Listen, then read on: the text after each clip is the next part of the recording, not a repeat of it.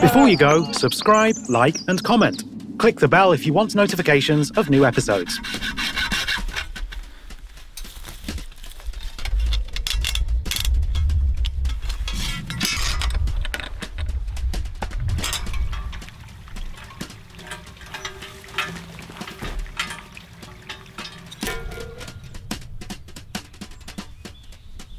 From a previous episode, we know that we need 43 clicks to reach 582 meters.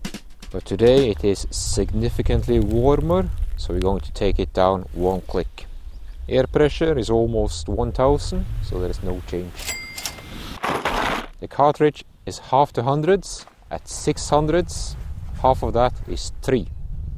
And when I look close, I can see continuous movement, and when I look far, I can also see direction but I cannot see the twigs bending. That's 3. 3 by 3 is 9. The wind comes in approximately half left, so I'll just use half the value, approximately 5. And the values I'm speaking about is 1 tenth of an MRAD.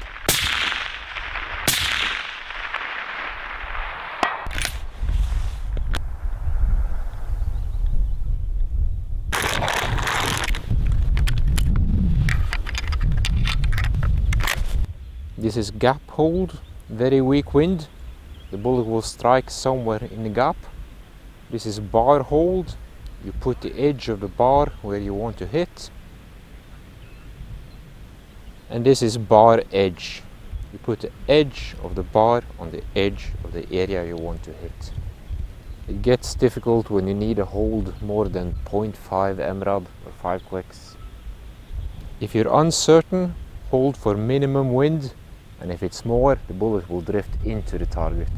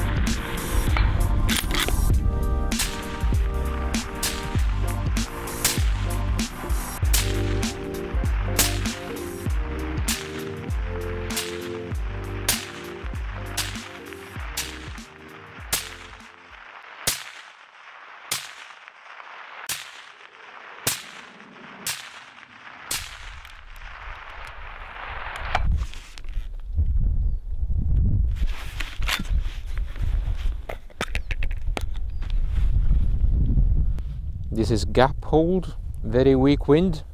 The bullet will strike somewhere in the gap.